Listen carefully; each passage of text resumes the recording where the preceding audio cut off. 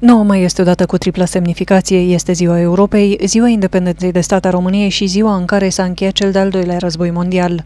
Ziua Uniunii Europene marchează istorica declarație din 9 mai 1950 a ministrului francez de externe Robert Schuman, prin care propunea un plan de colaborare economică între Franța și Germania pentru eliminarea rivalităților dintre cele două state. În 9 mai 1877 România și-a proclamat independența de stat, iar în 9 mai 1945 aliații au învins Germania nazistă și astfel s-a încheiat războiul. Așadar, o dată care nu poate fi trecută cu vederea și care, în general, nu este omisă de europeni și de români. În 2019, însă, în Baia Mare, manifestările s-au caracterizat mai degrabă printr-o lipsă a cetățenilor de la acestea.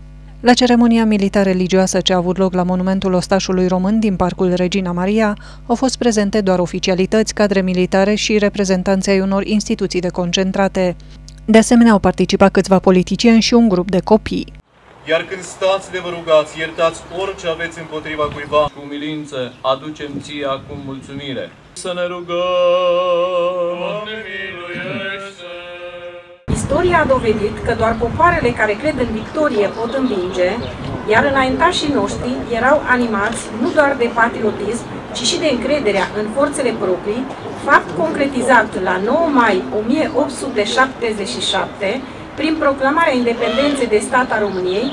Din postura deținerii pe o perioadă de șase luni a președinției Consiliului Europe, Uniunii Europene, trebuie să ne amintească de cel puțin alte două evenimente, fără de care această performanță a României, ca țară și ca națiune, nu ar fi fost posibilă.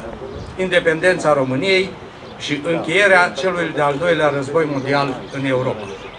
9 mai, o zi cu întreită semnificație pentru noi, care reprezintă tot atâtea momente de mândrie și respect față de înaintașii noștri, români și cetățeni ai marii familii europene. Cu această ocazie au fost depuse coroane și gerbe la monumentul ostașului român și la monumentul comemorativ din cimitirul din apropiere.